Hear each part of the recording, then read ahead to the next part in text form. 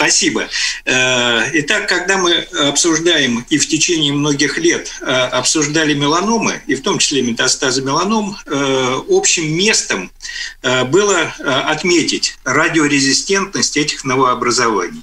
И под этим утверждением на самом деле есть вполне определенная подоплека. Если мы э, сравниваем э, такой критерий радиочувствительности, как survival fraction 2, а я напомню нашим слушателям, что это процент клеток, Э, в линейных, в линиях клеток, выживших после облучения с дозой 2 Грей. Так вот, вот это вот один из важнейших показателей интринсинг, собственной радиочувствительности опухолей, у меланом действительно оказывается одним из самых низких. Он по радиорезистентности уступает только раку желудка, глиобластому, почечно-клеточному раку, составляя в среднюю величину, вот по э, данным известной работы Дешаван, 0,51, то есть выживает после облучения э, фракции 2 Грея 51% э, клеток э, меланомы. Но тут же надо отметить, что на самом деле меланомы очень гетерогенны. И при исследовании радиочувствительности различных клеток меланом этот диапазон оказался очень широким. И вот в данном случае приведены э, результаты целого ряда исследований, в которых включались десятки линий э, меланом, и вы можете обратить внимание на то, что вот это survival fraction 2 э, составляет от 0,4 до 0,73 в среднем.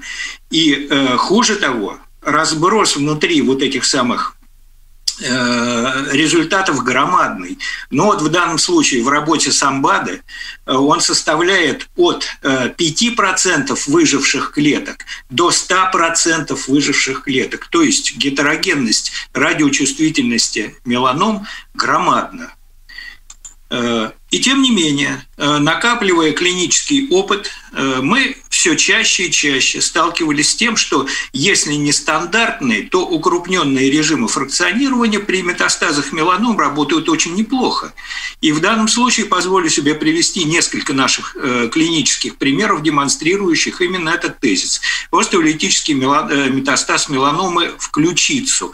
Э, размер достаточно серьезный, в основном мягкотканный компонент, больше 100 миллиметров, с приличным уровнем накопления, облучение в режиме крупного фракционирования 6,5 Грей, ежедневно 4 фракции 26 Грей, через 6 месяцев э, очень серьезный э, клинический эффект, расцененный как э, частичный эффект, но без дальнейшего прогрессирования. Следующий пример. Э, прогрессирование меланомы на фоне иммунотерапии э, с массивным поражением, множественным поражением э, головного мозга с общим объемом очагов около 100 кубических сантиметров. Обращаю ваше внимание на то, что в данном случае речь шла об облучении всего объема головного мозга с разовой дозой 6,5 грей и до суммарной дозы той же самой 26 грей.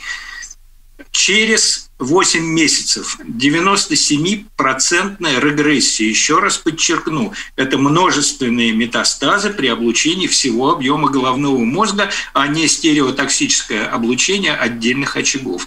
Ну и, наконец, еще один пример. Метастаз меланомы в паховый узел. Объем более полутора литров. Распад. Массивная кровопотеря, сопровождающаяся, естественно, э, серьезной гипоксией.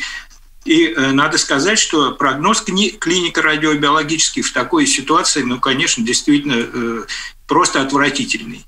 И тем не менее, э, после лучевой терапии, в данном случае с разовой дозой очаговой, очаговой дозой 3 грей до суммарной 51 грей, через 6 месяцев мы получаем полный эффект этот больной потом в последующем погиб, погиб через год, но при сохранении полного эффекта в зоне вот этого очага.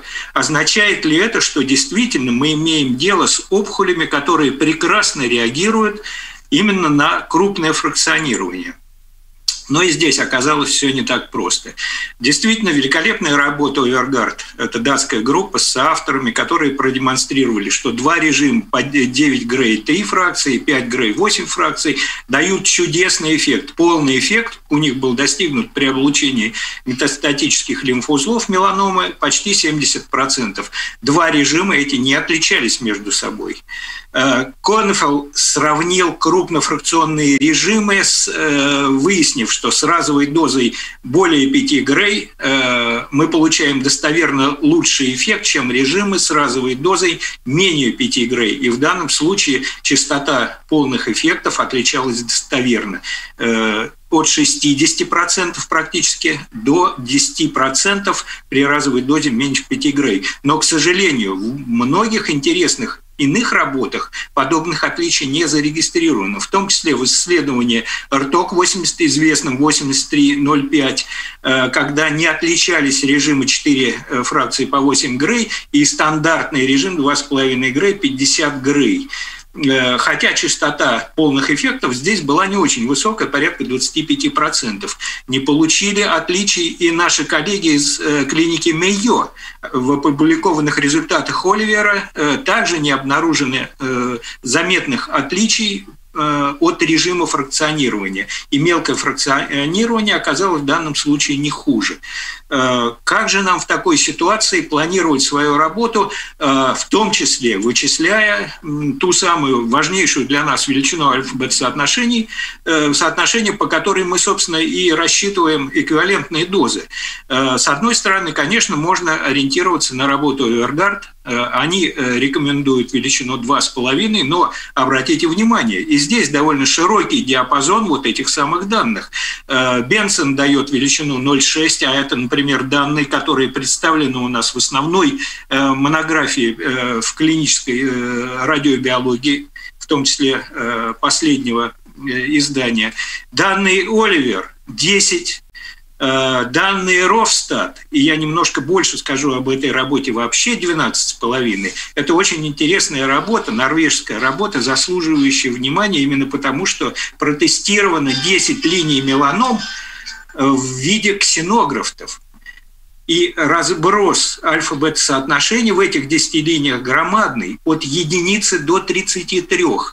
И что еще э, важно отметить в этой работе, нет э, корреляции между альфа-бета-соотношением и временем удвоения объема что для нас, казалось бы, было привычным. Мы считали, что чем меньше время удвоения объема, тем выше будет альфа-бета-соотношение, но вот этих корреляций здесь не найдено.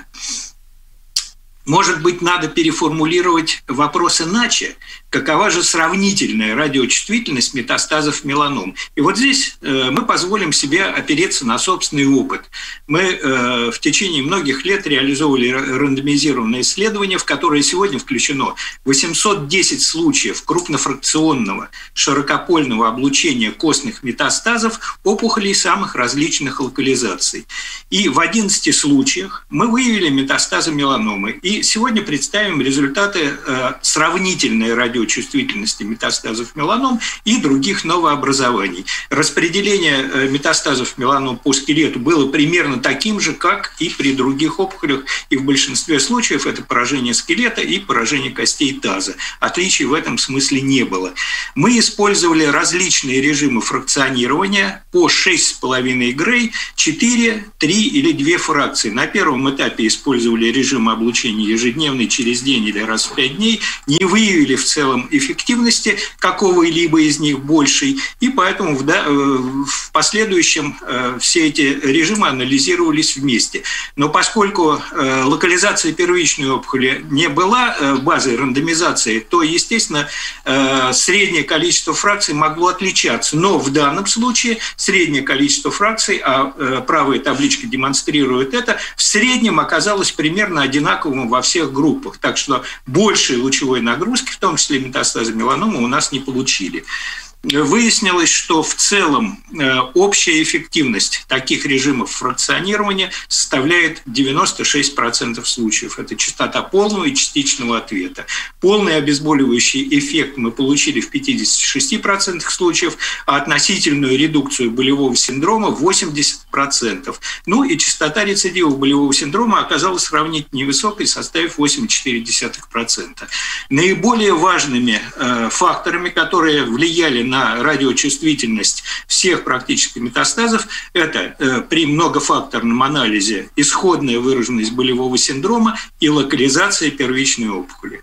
Вероятность полного стойкого обезболивания без проявления рецидива представлена в данном случае на этом слайде э, мы видим, что на самом деле вся когорта больных с костными метастазами неплохо разделилась на две подгруппы. Это группа радиочувствительных, у которых через год э, частота полных стойких эффектов составила э, около 60% случаев, и группа сравнительно радиорезистентных. К первой оказались отнесены метастазы меланомы, рака молочной железы, простаты, но в том числе и рака мочевого пузыря и, как неудивительно, сарком. А вот в группу сравнительно радиорезистентных э, попали рак толстой кишки, опухоли без первично выявленного очага, легкого и почки. И вот здесь э, в данном случае представлены э, признаки достоверности этих отличий, и для рака молочной железы, и отчасти для э, меланомы они оказались достоверны. Мы попытались построить э, кривые радиочувствительности, зависимость радиочувствительности, опираясь на несколько факторов.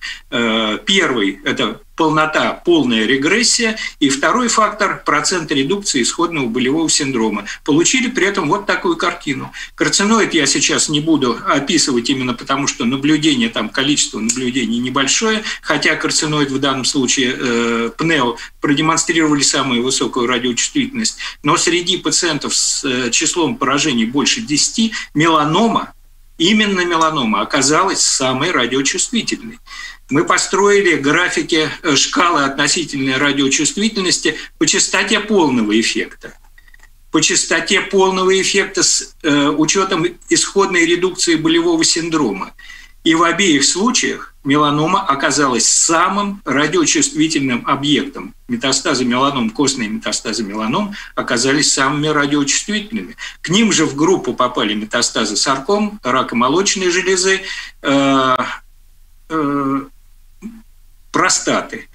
Построив в конце концов вот эти вот самые таблицы, мы э, считаем, что действительно среди костных метастазов меланома оказывается наиболее радиочувствительной, и к числу радиочувствительных опухолей относятся в данном случае метастазов костных э, рак молочной железы, тело матки, простата, ну и мочевой пузырь оказался на границе вот этих самых э, групп.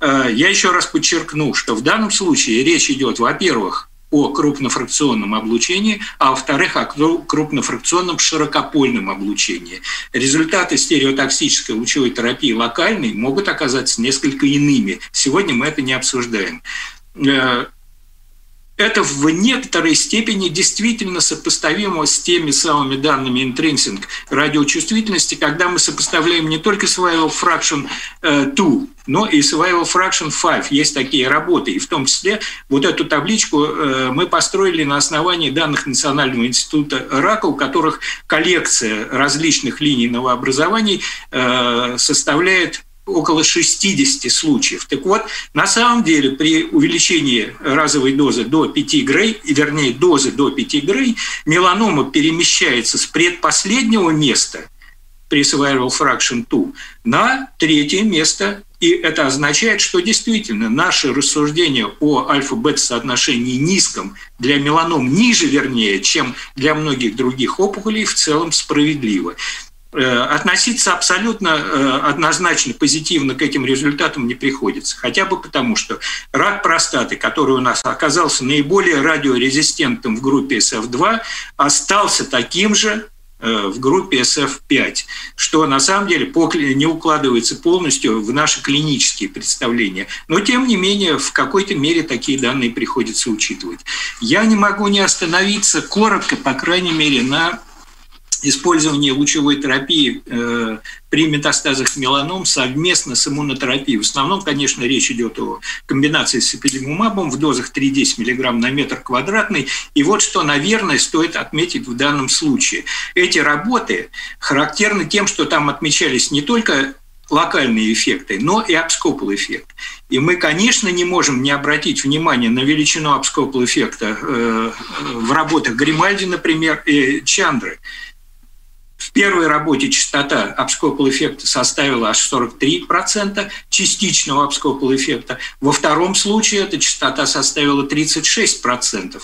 Это достаточно значимые величины э, для того, чтобы э, отбросить эти данные и забыть о них. Здесь приведены пара работ, где э, в единственном случае получали в том числе полный обскопал эффект среди э, всех остальных метастазов данной опухоли, например, при облучении э, печени у Хинкера в работе 2012 года, это, конечно, одно из очень интересных направлений, касающихся лечения метастатических меланом. Э, ну и, наконец, о других факторах, влияющих на эффективность лучевой терапии меланом. Среди тех самых э, молекулярно-генетических факторов, которые проверяются, конечно, обязательно, БРАФ, НРАС и ПТЕН. Э, БРАФ не повлиял на радиочувствительность, мутации НРАС не повлияли на радиочувствительность, а вот потеря гетерозиготности ПТЕН привела к снижению радиочувствительности меланом. Видимо, в будущем нам это надо учитывать. Среди работ, э, в которых отмечалось преимущество и недостатки сочетания лучевой терапии с иммунотерапией, выяснилось несколько интересных особенностей. Это работа Габани 2018 года. В первую очередь, эффективности, в том числе повышение э, общей выживаемости отмечено, если лучевая терапия начиналась раньше чем за 30 дней до проведения иммунотерапии. Локализация метастазов именно в скелете оказалась той самой э, локализацией, при которых сочетание иммунотерапии с э, лучевой терапией приводит к повышению общей выживаемости. А вот напротив, при других метастатических поражениях иммунотерапия нередко давала лучшие результаты, чем сочетание с лучевой терапией. Ну и, наконец, эскалация дозы выше 5 Грея, по данным тех же самых Авергарда Конефала и нашим данным приводит к повышению частоты локального контроля. И нельзя не отметить интереснейшие данные из последней работы, о которой я говорил в отношении abscopal эффекта работы Чандра. Там эскалация разовой дозы boost э, выше 3 Грей привела к снижению частоты abscopal эффекта. Это странные и э, непонятные сегодня данные, поскольку мы чаще всего abscopal эффект сравнивали, э, ассоциировали как раз с высокодозным локальным, именно высокодозным облучением. Вот в данном случае получили э, прямо противоположный эффект. Это, конечно, э, нельзя не учитывать. Ну и, наконец, э, выводы мы бы сформулировали следующим образом. Собственная радиочувствительность меланом отличается высокой гетерогенностью. Сравнительная радиочувствительность меланом повышается при эскалации разовой дозы в соответствии с величиной 2,5-3, и эту величину мы действительно сегодня используем как базовую при сравнении различных режимов фракционирования. Ну и, наконец, среди новообразований метастазирующих в скелет сравнительная радиочувствительность костных метастазов меланом одна из самых высоких. Спасибо за внимание.